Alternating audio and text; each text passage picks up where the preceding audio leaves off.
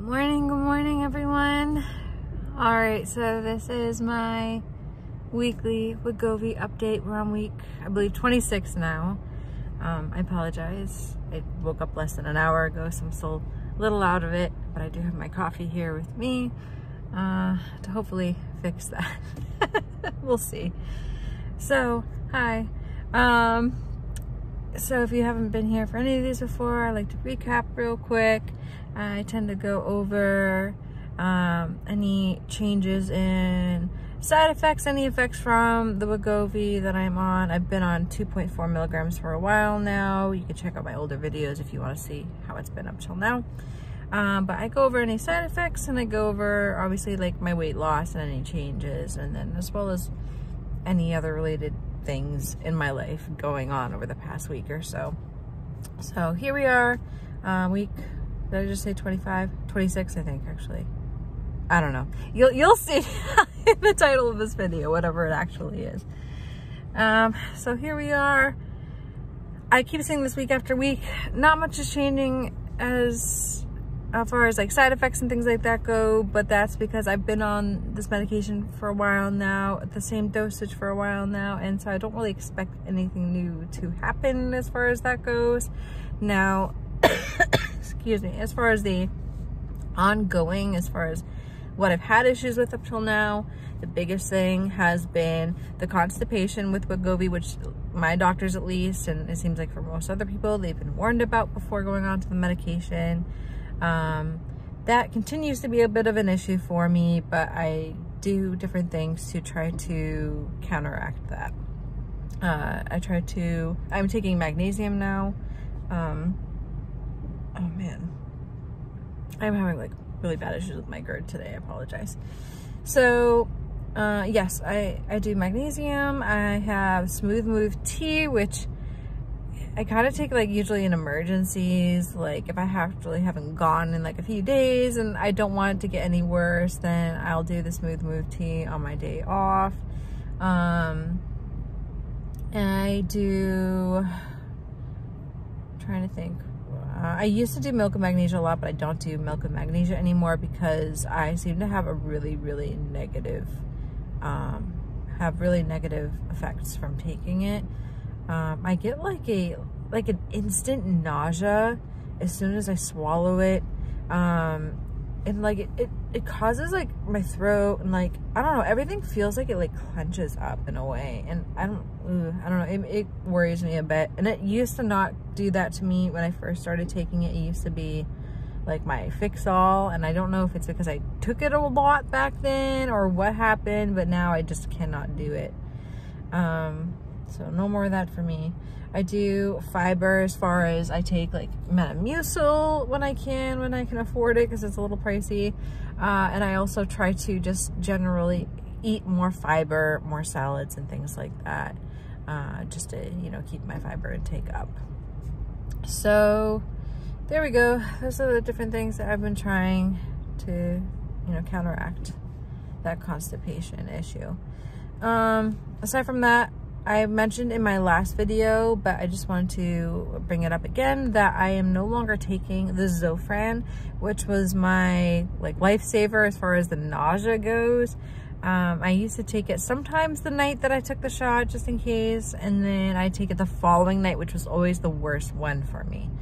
Um, so I take my shots on Wednesday nights right before bed, and I would take the Zofran either or both sometimes I would take it either right before my pill and the following, my pill, oh my gosh, right before my shot on Wednesday night. And then on Thursday night, I would take the uh, Zofran.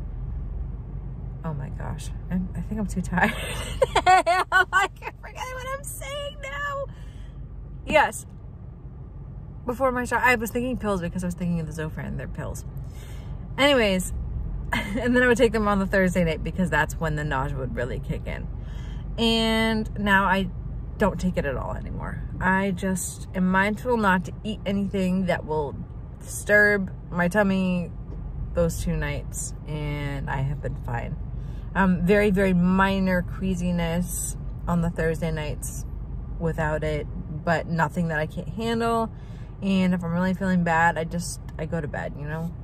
Um, because I don't want to, for anyone who doesn't know about Zofran, while it's really, really good for nausea, it also is known to add to constipation and that's not what we need when we're already dealing with that issue, right?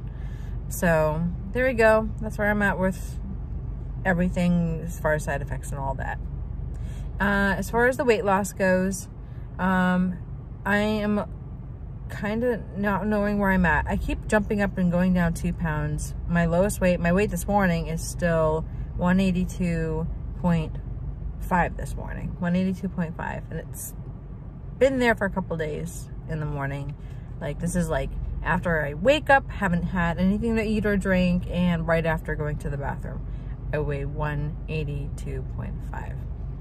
And um so it, it feels almost like I'm, I'm still stalling, but I am still seeing those changes in my body that I kind of mentioned my last video or two. Um, so like my, I had mentioned my work pants are getting looser around like my thigh area and around my waist a bit. I had gone down a pant size and those are a bit looser now. I had gone down a whole belt size and now I'm going down the notches on the belt and that's having to be tightened. And I finally went down a shirt size for my work costume. So that's pretty exciting. I, I wear a small now in my work costume. Like it hasn't been that way in a long time. So there you go. There are there are still changes occurring even though the weight on the scale seems to be just hanging out. Now, usually when that happens to me, I'll just keep doing what I'm doing. Maybe update or update. Oh my gosh, maybe uptake my water intake. Is that what I'm trying to say? Maybe up my water intake. and then, you know, sometimes like weeks and weeks later, all of a sudden I'll just drop a bunch of weight on the scale without anything else really changing. so I'm wondering if this is this is one of those. We'll see. That would be ideal. Uh, but I've also been doing. I have not gone to the gym again since my last video. Um, I've been working late and Ubering at nighttime for extra income because it's been a struggle around here. So I have not had time for that. But I have been trying to walk at nights. I generally walk about three miles um, when I walk. Uh, and then I have been doing my arm workouts, which is the one I had posted from creator Haley C. Please go back and check out that video if you're interested and check her original video out, which I linked in the description of mine. Um, it's just a little 10 minute slim arm workout and I did want to give an update as far as that goes. So I still have my, my, my wings. You can kind of see here, but my arms since doing this workout and I have not even been doing it every day. I'm being completely transparent with you all. I have missed a few days here and there. Um, but I have lost two and a half centimeters off of both of my arms now. And so I, there's a change and I'm constantly monitoring this. I have not done any other workouts on my arms. It is purely whatever in my daily life that I'm doing that I had been doing before and then that 10 minute workout that I've added that I typically do at nighttime. Um, and it does, it leaves you very sore the next couple days after doing it. So, but it's, it's good. It's, you know, that you're getting a workout and that it's actually doing something good for your muscles, right?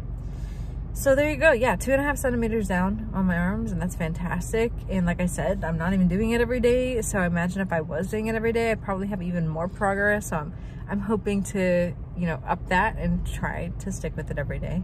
Um, but realistically, I know that things happen, right? But uh, the thing is, when I've noticed, I've gone, like, say I was at work today and I was like, oh my gosh, I never did my arm workout last night you know, I'm trying to memorize like parts of it or at least like sections of the workout so that while I'm just standing around at work, because where I'm at, like it's not like I'm like face to face with a customer or somebody like every two seconds. Like I have some time in between sometimes. And so I will stand there and I'll start doing my workout and everything. And, you know, even just like the simpler ones that I can do while I'm just standing around out there, I just try to get them in, right? Um, And all of the little reps that she does in that video all seem to be about, what, 50 seconds or 60 seconds? So I, try to count that down in my head as I'm doing the exercises. And that way, you know, even if it's not the full workout I'm gonna hear, like I'm, I'm still trying to put in some effort to get some of it done when I can, right? Um, so that's been good. My next doctor's visit is next Thursday. I think it's next Thursday. It could be Friday. I think it's Thursday though. Um, and they have me getting there a little bit early. So I hope that's a sign that they're going to do the InBody scan for me again. Now, that's what I'm really excited about because I have been losing some muscle mass. And like I said, even if the scale doesn't move, the InBody scan does measure like your muscle mass and everything like that. And I'm wondering if I will see that weight on the muscle mass go up. And that's what I'm hoping for. I'm hoping to see that go up because, you know, naturally they say, excuse me, as you build more muscle mass, you naturally will just burn more fat, more calories, just going about your day uh, to feed your muscles, right? So that that'll be that'll be good for me. That'll be a good improvement. And I am still down from what I was the last time I saw my doctors, even though it's not, you know, like really quick weight loss or anything like that. You know, it's it's been a couple months, but at least I went from 189, which is where I was when I saw him last time, to like I said, 182.5 is where I'm hanging out right now. So I've still lost some weight, right? And my only my only thing is I'm curious how my because I'm weighing myself like wearing the lightest clothing I can. And obviously I'm wearing something that are a little bit heavier when I go to the doctor's office. So we're gonna have to see. I don't know. That's what worries me. And I think a lot of people are worried about that same thing when they go to the doctors, like in general, when you get weighed at the doctor's office, I feel like you're always like a little bit higher than whatever you were wearing, weighing at home. Um, I do need to get a new scale too. Excuse me, my allergies have been awful. Um, I need to get a new scale. I am literally using one that like barely functions anymore. But I really want to get like a good one, like a really good scale. Um, so I'm doing some research on some. Some of them aren't very expensive. I, I found some for like 40 $50 on Amazon, but realistically, I just don't have 40 $50 right now. for a scale on Amazon. So, uh, but you know, eventually we'll get there. Or if I have any like money after Christmas time, because sometimes I get you know gifted some some money or gift cards or things like that. I'll probably put some of that into getting a scale. I try to use it for things that I need. Um, so yeah, I'm trying to think if there's anything else that's really been going on. Uh, I do want to upload a review of, turn my blinker on. I do want to upload a review of the Five Nights at Freddy's movie. I know this is random, but for anyone who watches my videos and wants to know what's coming up, that's probably going to be coming up soon. But I went to see that movie and uh, I actually went to the Universal City Walk Cinemark theater location for it and I saw it on the 26th I think like the official day that it came out was the 27th and I saw it the night before. Um, so you can look forward to that if that's something you're interested in. And I also have a couple of uh, reviews to do of my Cirkul sips for the Cirkul water bottle because I'm back into that again. I have a lot of sips just sitting around that I need to use. And the only reason I haven't gone through them all is because I have a different water bottle that I, I need to use at work and um and so I don't get to use my Cirkul all day when I'm at work. However, I when I want something that's going to keep the water really cold. Right now I have the plastic uh, Cirkul, which works fine when I'm just, you know, at home or out and about. I throw ice in it, fill it with water. But when you're working outside in the Florida sun, that water doesn't stay cold very long at all. It ends up like tea in like an hour. So I think I'm going to invest in one of the is it like stainless steel Cirkul water bottles so that I can actually bring it to work and it'll keep the water cold and I can actually use some of those sips while I'm working. So that's that's the plan at some point. And that's really it, right? I don't, I'm going to a few appointments, several other things today. Going home.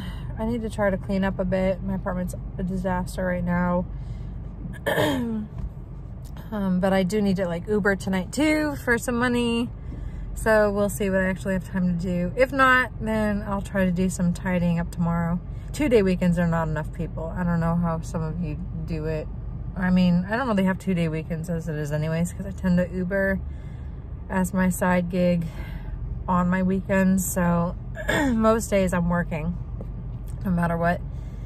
But I used to work a job where I worked four day weeks and I worked longer hours, but I had three days off every week. And I really missed that. I really liked that because you know, realistically, when you're you are at home on your days off, what are you doing? You're you're cleaning, right? You're you're taking care of house chores and everything else that needs to get done, or going to appointments that you have to make on days that you're not working. And then where's your, where's your day to like decompress? You know, you, yeah. So I think three days for me at least was really nice. I would love to see that adopted like more widely. But anyways, I'm going off tangents right now. So that's all. That's all for my update. Um, so I hope everyone's doing well on their journey. Let me know how this, the shortages are still going in your areas, please, too. Gosh, excuse me. Um, I, have been watching a couple other vloggers who cover like Ozempic, Wegovy, GLP-1s, all that. And I've heard a couple of them mention that they're still having shortages in their area. Um, for me, I've been having some pretty good luck, but I've also been like literally running over there the moment they have the medication in so that I never run into that issue. And I'm also on the highest dose of the medication and those tend to be not, these tend not to be the ones that are having the shortages. It tends to be the lower dosages that people need to work their way up uh, that are having those shortages. So yeah, let me know how it's going in your area. I hope it's getting better though. We'll see. And that's about it. So I hope everyone's doing well and staying healthy and happy. And I will see you all again very, very soon. If you celebrate Halloween, I hope you had a very happy and spooky Halloween with a lot of treats.